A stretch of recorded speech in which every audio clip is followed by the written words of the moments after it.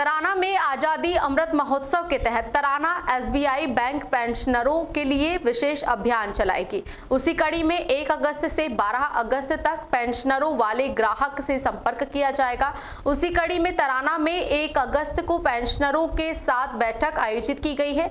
उक्त कार्यक्रम में मुख्य अतिथि एसबीआई मुख्य प्रबंधक, क्षेत्रीय कार्यालय उज्जैन, हरीश विजयवर्गीय के द्वारा पेंशनरों को खाते के बारे में समझाया कि सभी लोगों को खाते में नॉमिनी ज़रूर दर्ज करवाना अनिवार्य है। साथ ही बैंक संबंधित असुविधा से बचने की जानकारी प्रदान की गई। साथ ही अतिथियों द्वारा पेंशनरों का हार और माला पहनाकर स्वागत सम्मान किया गया। उक्त कार्यक्रम स्थानीय एसबीआई शाखा परिसर तराना में आयोजित किया गया, जिसमें मुख्य अतिथि हरीश विजयवर्गीय, मुख्य प्रबंधक क्षेत्रीय कार्यालय उज्जैन, सेवानिवृत्त, सहायक महाप्रबंधक शांतिलाल जैन और जे सी शर्मा और विशेष अतिथि पूर्व राज्य मंत्री बाबूलाल मालवीय पेंशन संघ अध्यक्ष मदनलाल पाटीदार की उपस्थिति में कार्यक्रम संपन्न हुआ। कार्यक्रम का संचालन शाखा प्रबंधक रमेश झा ने किया।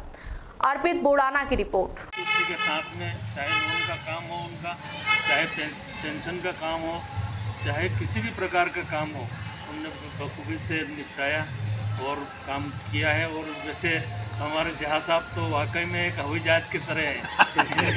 इनका इनका मामला पलक झपकते और कहाँ पे कहाँ दिख जाते ये? सर ये अतिशयोक्ति नहीं है। कहाँ। बहुत, अतिशयोक्ति बहुत अच्छे दी, जा रही है। वो एक बहुत ही अच्छी सेवाएँ हैं।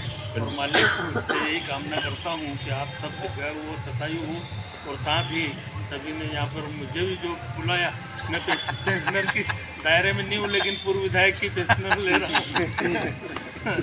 तो तो मेरे लायक जो भी आदेश होगा आप सबका तो मैं निश्चित रूप से आपकी सेवा में तत्पर खड़ा हूँ।